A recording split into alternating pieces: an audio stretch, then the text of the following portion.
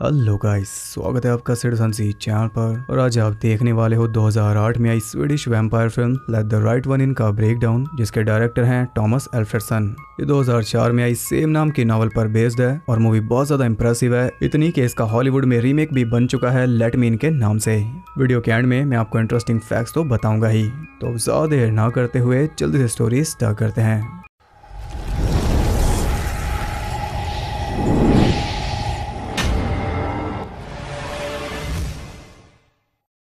Movie based है 1982 में। हम देखते हैं 12 साल के लड़के ऑस्कर को, जो कि अपनी मॉम वानी के साथ एक अपार्टमेंट में रहता है और ये एकदम अकेला है। हर टाइम ये बस बदला लेने की प्रैक्टिस करता रहता है, क्योंकि कोई भी इसे अच्छे से ट्रेड नहीं करता। एक रात जब वो ख्यालों में बदला ले रहा था, तभी वो देखता है अपने नए पड़ोसियों को, जिसमें थी सेम एज की लड़की एली और उसका केयर टेकर हैकन उन पर ज़्यादा ध्यान ना देते हुए अपना चाकू अपने पास रखकर वो आराम से सो गया, लेकिन हम देखते हैं कि आते ही हैकन अपनी विंडो कवर करने में लग गया। ऑस्कर काफ़ी अच्छा स्टूडेंट है, लेकिन स्कूल का बुली कॉनी इसे जीने नहीं देता। रोज बुली होना भी इसके लाइफस्टाइल का पार्ट है। इधर हम देखते हैं हैकन को, जो कि एक लड़के को बातों में फंसा कर बेहोश कर देता है, और उसके बाद उसे उल्टा लटका देता है उसका खून जमा करने के लिए। गर्दन पर कट लगाते ही खून बहना शुरू हो गया था, लेकिन तभी वहाँ पर आ जाता एक पालतू डॉग, और उसके पीछे पीछे उसके केयर टेकर भी वहाँ पर आ रहे थे। इसलिए हैकन जल्दी से बिना खून लिए वहाँ से भाग गया। उधर ऑस्कर बिल्डिंग से बाहर आकर अपने बदले की प्रैक्टिस कर रहा था एक पेड़ पर, तभी अचानक उसकी नई पड़ोसन एली भी नीचे आकर उसे देखने लगी और आते ही उसने साफ़ साफ़ बता दिया कि मैं तुम्हारी फ्रेंड नहीं बन सकती, जबकि ऑस्कर ने पूछा भी नहीं। ये कहकर वो चुपचाप वहाँ से चल दी और हैरानी की बात यह है कि एली को सर्दी नहीं लग रही। कुछ देर बाद हैकन भी घर आ जाता है और आते ही उसे डांट सुनने को मिलती है क्योंकि वो खून नहीं लाया। अगले दिन स्कूल से वापस आने पर ऑस्कर की मॉम उसे कह रही थी कि स्कूल से डायरेक्ट घर आना, क्योंकि उस लड़के के मर्डर की खबर पूरे टाउन में फैल गई। लेकिन ऑस्कर को कोई डर नहीं है, बल्कि वो तो ऐसी खबरों की कटिंग्स रखता है अपनी स्क्रैप बुक में, क्योंकि वो मर्डर्स में काफ़ी इंटरेस्टेड है। मीनवाइल उसका किलर पड़ोसी बैठा था एक रेस्टोरेंट में, और वहाँ भी लोग उसी मर्डर के बारे में डिस्कस कर रहे थे, और ये सब भी पड़ोसी हैं। इनमें मेन है लैकी उसकी गर्लफ्रेंड वर्जीनिया और जॉकी एगन इस एरिया में नया है, इसलिए वो चाहते थे कि वो इनका ग्रुप ज्वाइन करे, लेकिन वो चुपचाप दूध पी कर चल दिया। उधर ऑस्कर मॉम से झूठ बोलकर बाहर आ गया और उसके पीछे आ गई एली। वो दोनों बातें करते हैं और ऑस्कर उसे रूबिक्स क्यूब सॉल्व करना सिखा रहा था तभी वो कहता है कि तुम्हारे अंदर से स्मेल आ रही है, क्या तुम्हें सर्दी नहीं लग रही? वो कहते हैं कि नहीं। अपना रूबिक्स क्यूब उसे देकर वो अंदर चला जाता है और उसके जाते ही हम देखते हैं कि एली को काफ़ी तेज भूख लग रही थी। इधर लैकी और जॉकी एक दूसरे को बाय कहकर अपने घरों के लिए निकल गए, लेकिन थोड़ा आगे जाकर जॉकी को रुकना पड़ा, क्योंकि एक बच्चा उससे हेल्प मांग रहा था, जो कि है एली। जॉकी उसे गोद में उठा लेता है और तभी वो उस पर झपट कर उसका सारा खून पी जाती है और ये सब देख लिया गोस्ता नाम के आदमी ने। यहाँ क्लियर हो गया कि एली एक वैम्पायर है और हैकन उसी के लिए खून जमा कर रहा था। दो दिन से वो खून नहीं लाया, इसलिए मजबूरी में एली को अपने पड़ोसी को ही मारना पड़ा, जिससे वो बिल्कुल भी खुश नहीं है, लेकिन अगर ये ना मारती तो खुद ही भूख से मर जाती। अब आप जान गए हो कि एली को सर्दी क्यों नहीं लगती और ये यहाँ पर शिफ्ट क्यों हुए? क्योंकि ये ज़्यादा देर तक एक ही जगह पर नहीं रह सकते, इससे आसपास वालों को शक हो जाता है। अब इंपॉर्टेंट बात यह है कि इतनी भूख लगने के बावजूद भी इसने ऑस्कर को नहीं मारा, यानी कि अच्छाई इसमें बाकी है। उसकी इस हरकत के लिए हैकन उसे बुरी तरह सुना रहा था, जिसे ऑस्कर भी बगल वाले रूम से सुन रहा था। उधर गोस्टा बाकियों के पास जाकर उन्हें सब कुछ बता देता है, लेकिन जब वो सब वहाँ पहुँचते हैं तो वहाँ खून के अलावा कुछ भी नहीं मिलता, क्योंकि लाश को हैकन ने फेंक दिया लेक में। अगले दिन ऑस्कर को उसका रूबिक्स क्यूब बाहर मिलता है, वो भी पूरी तरह सॉल्व लेकिन एली वहाँ नहीं थी, क्योंकि वो दिन में बाहर नहीं आ सकती। रात को वो पहले से ही ऑस्कर का वेट कर रही थी और इस बार वो अच्छी तरह नहा धो के आई थी ताकि उसमें से स्मेल ना आए। या फाइनली दोनों को एक दूसरे के नाम पता चले। ऑस्कर की एज 12 साल है बट एली को उसकी एज नहीं पता क्योंकि वो है एक वैम्पायर न जाने कितने सालों से ये पृथ्वी पर मौजूद है। फिर भी वो अपनी एज बता रही थी 12 साल। अगले दिन छुट्टी के बाद भी ऑस्कर स्कूल में रुका हुआ था, क्योंकि वो मॉर्स कोड की लिस्ट बना रहा था, जिसे खत्म करके वो घर के लिए निकल गया, लेकिन कॉनी ने अपनी गैंग के साथ मिलकर उसे पकड़ लिया। एंड्रियास उसे मारना शुरू करता है, लेकिन ये इस गैंग में सबसे सॉफ्ट है। ऑस्कर तो रोया नहीं, उल्टा वो खुद ही रोने लगा। तो बारी आती है मार्टिन की। उसने ऑस्कर के चेहरे पर कट मार दिया, जिससे दर्द तो हो रहा होगा, लेकिन ऑस्कर कोई रिएक्शन नहीं देता, और यही देखकर वो सब भाग गए। ऑस्कर को यह बात अपनी मॉम को बता देनी चाहिए थी, लेकिन वो कहता है कि मैं गिर गया एक रॉक पर। वो ऐसा दिखा रहा है, जैसे कि कुछ हुआ ही नहीं, जबकि इससे ज़्यादा परेशान तो इसे मारने वाली हो गए। इससे पता चलता है कि किस हद तक इसने बुलिंग को एक्सेप्ट कर लिया। रात में वो एली को मोस कोड वाली लिस्ट देता है ताकि एली सीखे और ये दोनों दीवारों पर टैप करके बात कर सके, क्योंकि इनके रूम साथ हैं। ऑस्कर के चेहरे पर लगा घाव देखकर एली पूछती है तो ऑस्कर उसे सब कुछ बता देता है और बदले में वो कहते हैं कि अगली बार बिना डरे उनका सामना करना बाकी मैं संभाल लूँगी। ये सुनकर ऑस्कर सैम गया था, क्योंकि इस बारे में बात करना उसे अच्छा नहीं लगता, क्योंकि उसके मुताबिक तो इसका कोई हल है ही नहीं। एली कहती है कि अगली बार उसे ज़ोर से मारना, तब ऑस्कर कहता है कि वो तीन है। ये सुनकर वो कहते हैं कि फिर और ज़ोर से मारना, तभी वो रुकेंगे। बाकी फिर ये तो है ही। इन दोनों की ये दोस्ती देखकर हैकन चिंतित था, लेकिन वो तो बस एक गुलाम है। बाद में वो दोनों अपना मोर्स कोड प्रैक्टिस करते हैं और कुछ इस तरह अब ये बिना मिले भी बात कर पाएँगे। अली की बात मानते हुए ऑस्कर ने अपने पीटी टीचर से कहकर वेट लिफ्टिंग में हिस्सा ले लिया, ताकि स्ट्रांग बनकर कॉनी गैंग का सामना कर पाए। इस रात वैली को ट्रीट दे रहा था, जिसे वो लेना नहीं चाहती, क्योंकि वो एक वैम्पायर है। ब्लड के अलावा और कुछ उसके लिए जहर है, लेकिन ऑस्कर को बुरा ना लगे, इसलिए उसने थोड़ा खा लिया और तभी उसे उल्टी हो गई। या एक बिल्ली उससे काफ़ी चिढ़ रही थी, क्योंकि जानवर वैम्पायर्स को पसंद नहीं करते और बिल्लियाँ तो मौका मिलते ही काम भी कर देती हैं। फिर ऑस्कर एली को कंफर्ट कर रहा था उसे गले लगाकर, तब वो पूछती है कि अगर मैं लड़की ना हुई, क्या तुम फिर भी मुझे पसंद करोगे? इसके कहने का मतलब तो यही है कि ये वैम्पायर है, इसलिए ऑस्कर नहीं समझा, लेकिन इसका एक डीप मीनिंग है, जो मैं आपको एंड में बताऊँगा। ऑस्कर ने उसे बाय बोल दिया, क्योंकि इस हफ़्ते ये जा रहा है अपने डैड के घर और जल्दी ये वापस आ जाएगा। वो अपने डैड के घर पहुँच गया और इधर एली की भूख जाग गई। उसने हैकन को हिंट दे दिया, इसलिए वो पहुँच गया बास्केटबॉल कोर्ट में। सबके जाते ही उसने एक लड़के को बंदी बना लिया, लेकिन उसके दोस्त बाहर ही उसका वेट कर रहे थे। अचानक लाइट चली गई और होश आते ही वो चिल्ला दिया। यानी कि आज भी इसे खून नहीं मिलने वाला, लेकिन बड़ी प्रॉब्लम यह है कि ये फंस चुका। उसके दोस्तों के अंदर आते ही वो अपने चेहरे पर एसिड फेंक लेता है ताकि उसकी पहचान ना हो पाए। ऑस्कर पूरी मेहनत कर रहा था, लेकिन बुलिंग अब भी जारी थी। इधर अली खून का इंतज़ार कर रही थी, तभी रेडियो पर चल रही न्यूज़ के ज़रिए उसे पता चल गया कि हैकन पहुँच गया हॉस्पिटल में। वहाँ पहुंचकर उसके बारे में पता करके अली बाहर से चढ़ के सीधा उसके रूम तक पहुँच जाती है और पहले वो उससे पूछती है कि क्या मैं अंदर आ सकती हूँ, क्योंकि मिथ के अनुसार वैम्पायर्स बिना बुलाए अंदर नहीं आ सकते। एली को भूख लगी थी, इसलिए हैकन अपने आप को ऑफ़र कर देता है और वो उसका सारा खून पी जाती है और आखिर में वो गिर जाता है नीचे, इससे लगेगा एक एक्सीडेंट अपनी आखिरी सांस उसने नीचे ली। वहाँ से निकलकर वो पहुँच गई सीधा ऑस्कर के रूम तक। वहाँ भी वो परमिशन ले रही थी, तब उसने भी विंडो ओपन करके उसे अंदर ले लिया। एली सारे कपड़े उतार कर उसके साथ लेटी थी, क्योंकि कपड़ों पर खून लगा हुआ था। ऑस्कर उससे पूछता है कि क्या तुम मेरी गर्लफ्रेंड बनोगी? जब ये गर्ल है ही नहीं तो बनेगी कैसे? एली ने खुद ही कह दिया कि मैं कोई गर्ल नहीं हूँ। जैसा चल रहा है, वैसे ही चलने दो, लेकिन ऑस्कर खुश नहीं था, इसलिए उसका दिल रखने के लिए वो मान गई। या वो उसके साथ हाउ मेनी फिंगर्स वाला गेम भी खेल रही थी। सुबह जब ऑस्कर की आँख खुलती है, तब एली गायब थी। वो एक नोट छोड़कर गई थी, जिस पे लिखा था, या तो मैं यहाँ से जाकर ज़िंदा रह सकती हूँ, या फिर यहाँ रुक कर मर सकती हूँ, क्योंकि सूरज उसे जला देता, इसलिए वो चली गई। आज इनका पीटी टीचर सभी को स्कीइंग करने ले आया, पर वहाँ भी कौनी गैंग उससे पंगा लेने पहुँच गई। लेकिन फ़र्क यह है कि इस बार ये फाइट बैक करेगा। उसके पास एक स्टिक थी और उसने सीधा ही बोल दिया कि अगर तुम कुछ करोगे तो मैं तुम्हें मारूँगा। कौनी को लग रहा था कि यह मज़ाक है, वो उसे छेड़ देता है और छेड़ते ऑस्कर ने सीधा उसके कान पर एक शॉट चिपका दिया। यहाँ एक ही मिनट में उसकी सारी दादागिरी निकल गई। वो बच्चों की तरह चिल्लाने लगा और दर दो बच्चे कार्यक्रम में लगे थे, तभी उन्हें लाश मिल जाती है चौकी की।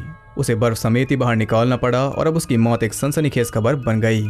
टीचर ने ऑस्कर की शिकायत उसकी मॉम से कर दी, इसलिए घर आने पर मॉम उसे सुना रही थी, लेकिन उसे ज़्यादा फ़र्क नहीं पड़ा, क्योंकि जो खुशी से मिली उसे मारकर, उसके आगे डांट कुछ भी नहीं। अगले दिन स्विमिंग के बाद ऑस्कर एली को लेकर आता है सार्वजनिक अयाशी के अड्डे पर, जहाँ वो उसे अपनी बहादुरी के किस्से सुना रहा था, जिन्हें सुनकर एली काफ़ी खुश हुई। उसने अपना हाथ काट दिया, ताकि ये ब्लड बॉन्ड में बन जाए, और लगता है कि ये बॉलीवुड का फ़ैन है। अब एली ठहरी एक वैम्पायर खून गिरता देख वो खुद को कंट्रोल नहीं कर पाती, और सीधा टूट पड़ती है खून पर। वो उसे भागने को कहती है, लेकिन वो नहीं जाता, इसलिए वो खुद ही भागकर एक पेड़ पर चढ़कर बैठ गई नया शिकार ढूँढने के लिए। क्योंकि जो आग लगी है, इसे शांत तो करना होगा। इधर उस लाश के मिलने से गौस्ता परेशान था, क्योंकि इसने अपनी आँखों से उसका मर्डर देखा था। इसका फ़र्ज़ तो यही बनता है कि पुलिस को बताए, लेकिन वो इसकी बात नहीं मानेंगे, और क्या पता वो लड़की भी इसका काम तमाम कर दे, इसलिए वो टेंशन में था। या लैकी की वाइफ वर्जीनिया उसे घर चलने को कह रही थी और बदले में वो चिल्ला दिया, इसलिए वो गुस्सा होकर वहाँ से चली गई।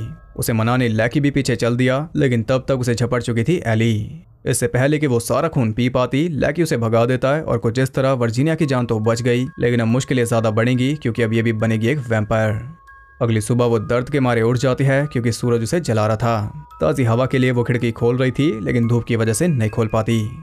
उधर एली के बिना ऑस्कर का मन नहीं लग रहा था, इसलिए डैड के घर से भागकर वो वापस मॉम के पास निकल लिया। इधर पूरे दिन बेचैन रहने के बाद रात को वर्जीनिया खून की तलाश में मारी मारी फिर रही थी।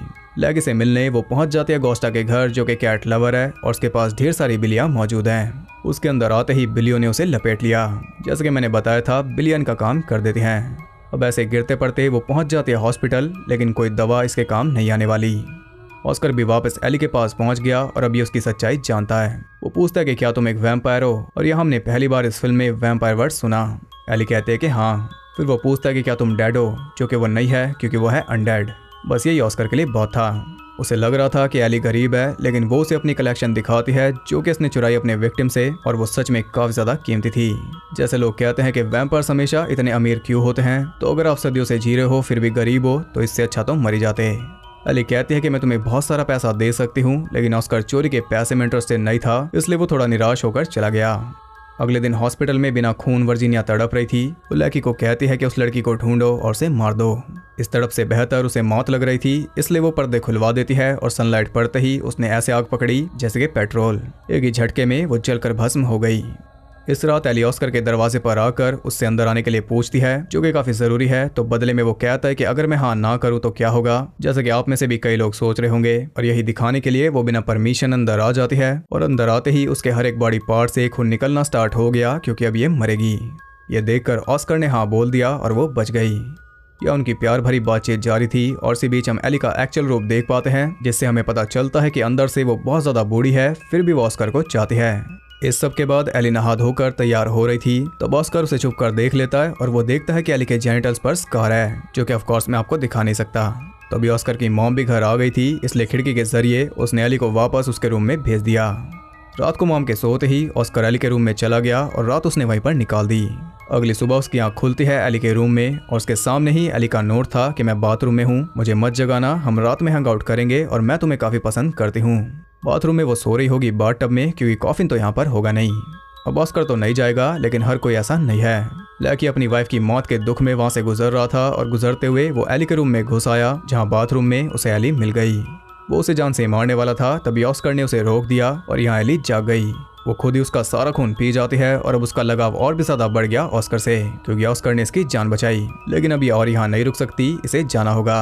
ऑस्कर को पहली बार किस करके वो बाय बोल देती है, क्योंकि यह है दी एंड अगले दिन उसके जाने के बाद ऑस्कर काफ़ी दुखी था। तभी उसे फ़ोन आता है उसके क्लासमेट मार्टिन का, जो कि उसे आज रात स्विमिंग क्लास के लिए बुला रहा था, और ये सब प्लान है कॉनी का ऑस्कर आराम से सेंटर पहुंचकर स्विमिंग कर रहा था। तभी कॉनी बाहर आग लगाकर टीचर को बाहर भेज देता है, और उसके जाते ही वो अपने भाई जिमी को साथ लेकर वहाँ आ गया। जिमी उसे कहता है कि तुम्हें तीन मिनट तक पानी में डूबे रहना होगा, नहीं तो मैं तुम्हारी एक आँख निकाल लूँगा। ऑस्कर जानता था कि ये पॉसिबल नहीं है, लेकिन चॉइस उसके पास नहीं थी। जिमी ने उसे डुबा दिया और वो सच में उसे मार रहा था, जो कि कॉनी गैंग को भी एक्सपेक्ट नहीं था। ये देखकर कॉनी की भी हवा निकल गई, क्योंकि उसका भाई उससे भी बड़ा साइको है। सभी उसे मना कर रहे थे, लेकिन वो उन्हें चुप करा देता है और अंदर ऑस्कर का दम घुटने लगा। ऑलमोस्ट उसकी जान चली जाती, तभी अचानक जिमी का कटा हुआ सर पानी में गिर गया, साथ ही उसका हाथ भी, क्योंकि वहाँ पर आ गई थी एली एक बार ऑस्कर ने उसे बचाया और एक बार उसने ऑस्कर को। एली ने सबको मार दिया, सिवाय एंड्रस के, क्योंकि वो शरीफ है। इसके बाद हम देखते हैं ऑस्कर को, जो कि एक ट्रेन में बैठकर एली के साथ जा रहा है। एली है बॉक्स में और ये दोनों कहीं दूर जा रहे हैं, क्योंकि ये दोनों ही एक दूसरे के बिना नहीं रह सकते।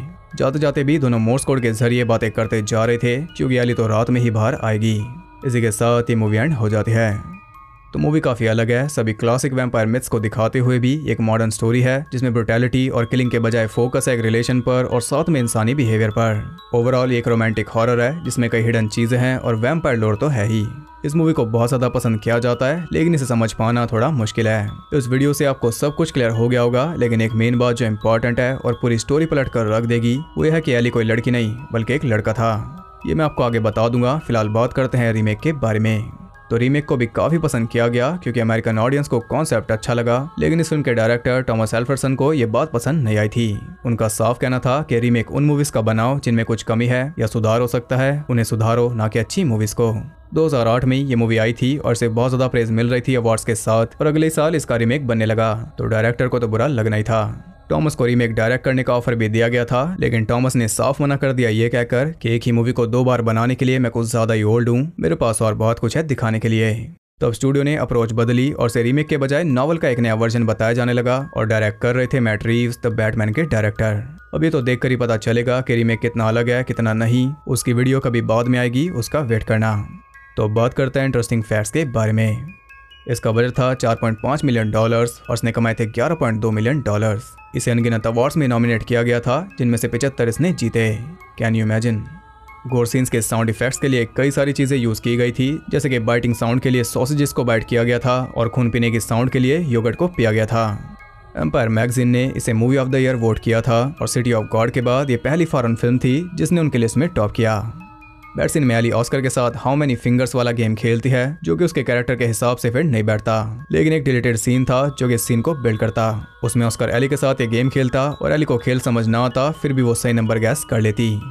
ये फ़िल्म बेस्ड है ब्लैकबर्ग में, लेकिन प्रिंसिपल फोटोग्राफी शूट हुई थी लुलिया स्वीडन में, ताकि बर्फ़ और कोल्ड वेदर अच्छे से दिख सके। फ़िल्म में वैम्पायर वर्ड सिर्फ़ एक ही बार यूज़ हुआ, जो बोला था ऑस्कर ने।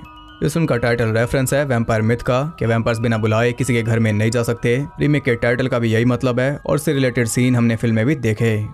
फ़िल्म के ऑलमोस्ट हर एक सीन में रेड कलर मौजूद है, जो कि रेफरेंस है ब्लड के कलर का, जो कि इकलौती चीज़ है, जिसे एली पी सकती थी।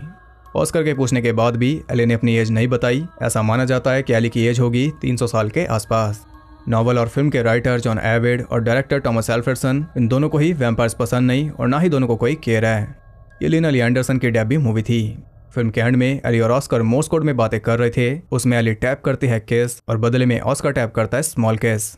एक सीन में अली ऑस्कर से पूछती है कि क्या वो उसे तब भी पसंद करेगा अगर वो लड़की ना हो। इससे वो ये तो बता ही रही थी कि वो एक वैम्पायर है, लेकिन असल में नॉवल में एली एक लड़का था जिसे वैम्पायर बनाते टाइम कैस्ट्रेट कर दिया था, यानी कि उसके जेनिटल्स काट दिए थे और उसका रेफरेंस भी एक सीन में मिलता है। जब ऑस्कर छुप के अली को देखता है और उसके जेनिटल्स पर स्कार्स होते हैं और सीन के लिए एक पुतला यूज़ किया गया था। अब इसका मतलब कि अली लड़की नहीं, बल्कि लड़का था। और लीना को कास्ट भी इसलिए किया गया था क्योंकि वो थोड़ी लड़के जैसी दिखती हैं। इसमें अली की जो वॉइस है, वो लीना की नहीं थी। बाद में डिसाइड किया गया था कि अली की आवाज़ थोड़ी डार्क होनी चाहिए, जो कि लीना की नहीं थी। इसलिए बाद में उसकी सारी लाइन्स को डब किया एलिफ केलन ने। इससे कैरेक्टर और ज़्यादा इफ़ेक्टिव बन गया। तो ये थे इंटरेस्टिंग फैक्ट्स आई होप आपको पसंद आए होंगे। अगर आपको ये वीडियो पसंद आई और कुछ जानने को मिला तो इसे एक लाइक ज़रूर करना। वो बहुत ज़्यादा ज़रूरी है मोटिवेशन के लिए। और साथ ही आप कमेंट करके बताओ कि आपको मूवी कैसी लगी और कितना कुछ आप जान पाए वैम्पायर मिथ के बारे में। अभी एक दो ही वीडियो आई है और आप ऑलरेडी बहुत कुछ जान चुके हो कि वैम्पायर क्या होते हैं, क्या करते हैं, क्या नहीं करते। और आगे आप और भी बहुत कुछ जानोगे, क्योंकि बहुत सारी वीडियोस आएँगी। तो उन्हें देखने के लिए चैनल को सब्सक्राइब करके बेल नोटिफिकेशन कॉल पर सेट कर लो तो आगे नोटिफिकेशन आपको दूर कहीं ले जाए। और ज़्यादा कनेक्टेड रहने के लिए आप मुझे इंस्टाग्राम पर फॉलो कर सकते हो। वहाँ आपको बहुत कुछ जानने के लिए मिल जाएगा और साथ ही बाकी जगहों पर भी जिनके लिंक्स आपको नीचे मिल जाएँगे। तो मैं मिलता हूँ आपसे अगली वीडियो में। तब तक ले सबको बाय